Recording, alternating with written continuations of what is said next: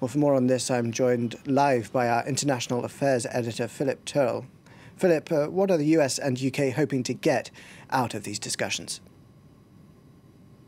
Well, on paper, it all looks pretty positive for uh, both sides, uh, specifically for the United Kingdom. If uh, the UK can get a trade agreement with the United States, that'll certainly uh, look good for all those who were in favour of Brexit, because one of the campaign uh, ploys during the Brexit campaign was, of course, to strike trade deals with other countries outside the European Union. Now, uh, trade with the uh, United States, between Britain and the United States, uh, is estimated to be 253 billion euros a year.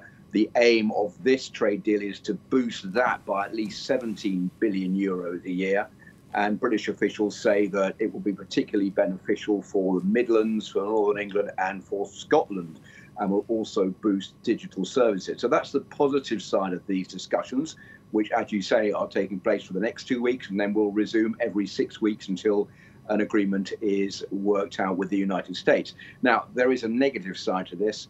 Uh, the negative side, of course, is that will this accord be enough to replace the loss in trade with the European Union now that Britain has quit the EU?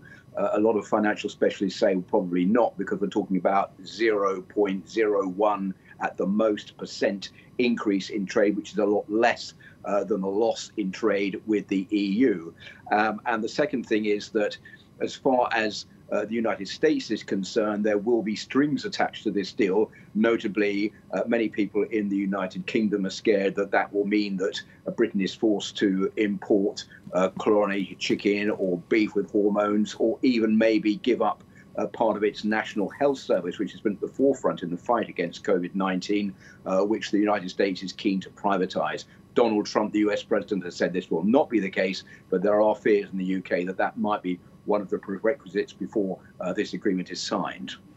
Britain officially left the EU on January the 31st this year, but it's still negotiating a trade deal with the bloc that's uh, set to be reached by the 31st of December this year.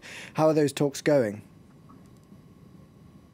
Well, let's put it this way. They could be going better, firstly, because they've been vastly delayed because of the coronavirus outbreak. They were due to start back in March. That didn't happen. Uh, then both negotiators, Michel Barnier for the European Union and David Frost for the United Kingdom, both went down uh, with the coronavirus. That delayed the talks even more. They're now back uh, meeting since the 20th of April by video conference. But there are really very, very big differences between what the two sides want. For example, the European Union is saying that they want individual agreements, for example, on fishing, on commercial ties, and on finance.